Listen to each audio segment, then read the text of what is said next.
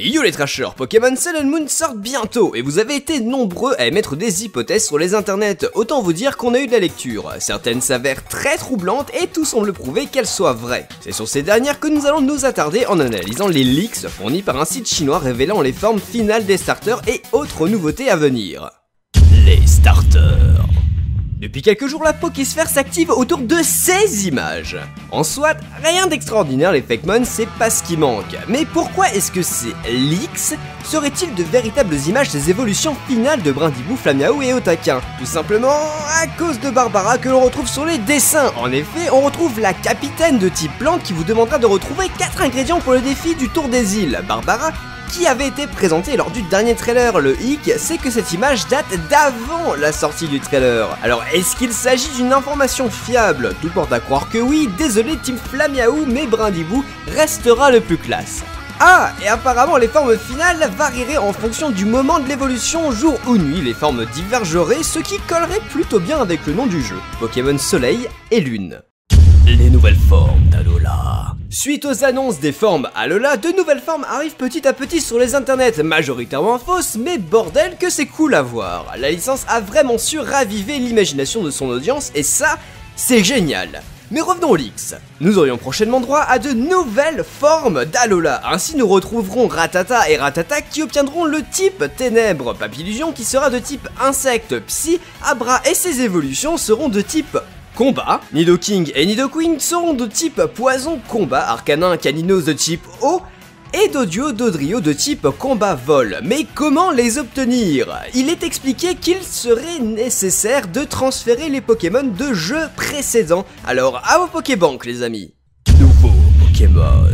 Il est également dit que nous aurons droit à de nouveaux Pokémon prochainement, un chat qui changerait de type et d'apparence en fonction de comment vous ferez éclore son œuf, un Pokémon de type bonhomme de neige qui sera glace spectre avec deux évolutions mais ce ne sont que les plus notables. Il y a également un Pokémon inspiré d'un dauphin, d'un concombre de mer, d'un champignon et d'un singe. Le leaks révèle aussi que Rocabo, le Pokémon un peu mystérieux de cette génération, aura comme évolution finale un loup-garou. Et enfin, le nom Machado a été déposé par la Pokémon Company. Il s'agirait d'un Pokémon possédant un double type unique, encore inconnu à ce jour. Beaucoup d'informations en somme, mais qui n'attendent que d'être confirmées dans les prochains trailers qui arriveront bientôt, donc get hyped Allez, petit bonus Made in Pokémon Trash, on vous donne même les noms anglais de ces fameux Pokémon. Le chat s'appellera Darline et sera de type normal couplé avec n'importe quel autre type en fonction de son éclosion. Son évolution s'appellera Darwhisker.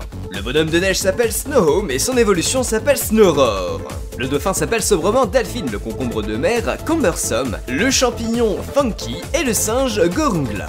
Nous avons vu que ce Leaks proposait de nouveaux Pokémon, de nouvelles formes, l'évolution finale des starters, mais il ne s'arrête pas là, non, loin de là, il révèle également que dans Soleil et Lune, il n'y aura plus d'arènes ou de conseils des 4, mais bel et bien des épreuves qui parsèmeront la map pour avancer dans l'histoire principale. Élément confirmé dans le dernier trailer en date que nous avons d'ailleurs traité sur la chaîne, si vous voulez aller faire un tour, c'est par ici.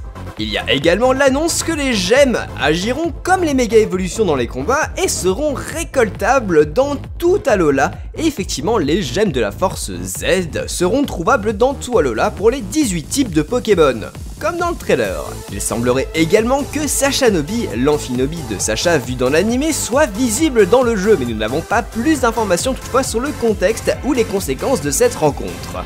Il ne faut toutefois pas prendre pour argent comptant tout ce qu'on vous raconte sur Facebook ou YouTube. Certes, il y a des centaines de vidéos qui en parlent et souvent les preuves semblent accablantes, mais le Korokoro a publié hier de nouveaux Pokémon qui n'y figurent pas dans la liste qui aurait fuité du Pokédex. Info ou intox, le temps nous le dira, mais pour l'instant, et comme à chaque sortie d'un jeu Pokémon, on a bien le droit de rêver.